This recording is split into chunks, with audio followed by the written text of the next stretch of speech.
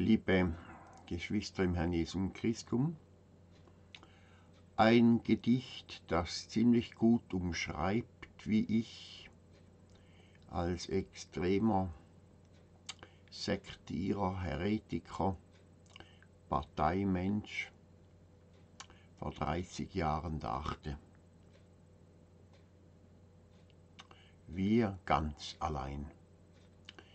Wir ganz allein sind's, die die Wahrheit tragen.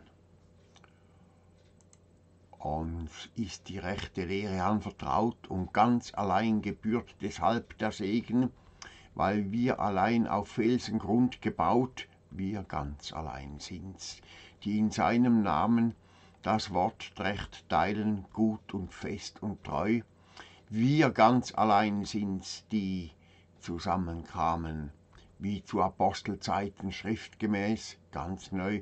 Wir ganz allein sind's, die ihm recht verehren, an seinem Tisch durch seinen Geist geführt, sollen sich die anderen bitte nicht beschweren, dass ihnen Gottes Dasein nicht gebührt.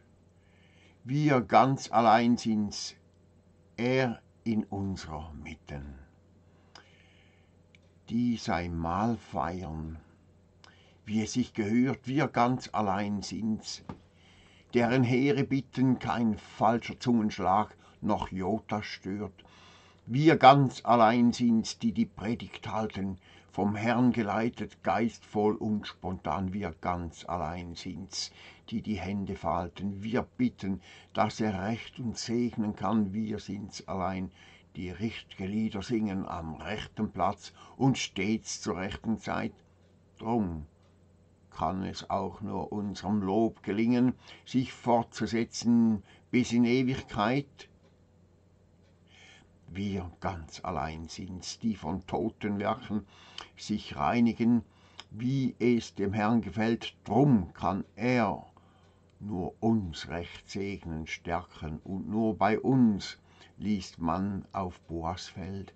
Wir ganz allein sind's, die die Traditionen festsetzen in dem wahren Brüdergeist. Drum wird er auch gewiss nur uns belohnen, weil unser Tun nur Gottes Lohn verheißt. Ach, Brüder, sind wir wirklich noch die Armen, zu denen er sich einmal tief geneigt? Wir haben, wie haben wir vergessen sein Erbarmen, dass er uns einst den rechten Weg gezeigt? Hat er vielleicht am Kreuz nur gelitten für Brüder, deren Hochmut ohne Maßen und die in sich jahrzehntelang zerstritten ein Schauspiel liefern voller Neid und Hass. Glaubt ihr, er gäb nur denen seinen Segen, die reich sich dünken und sind blind und bloß. Meint ihr, er könnte nicht auf anderen Wegen sein Liebeswerk, sein Walten machen groß, es ist wohl Zeit, dass wir uns neu besinnen auf altes, echtes, wahres Glaubensgut. Vielleicht lässt Gottes Gnad uns neu beginnen. Ob er an uns, an dir, an mir dies große Wunder tut.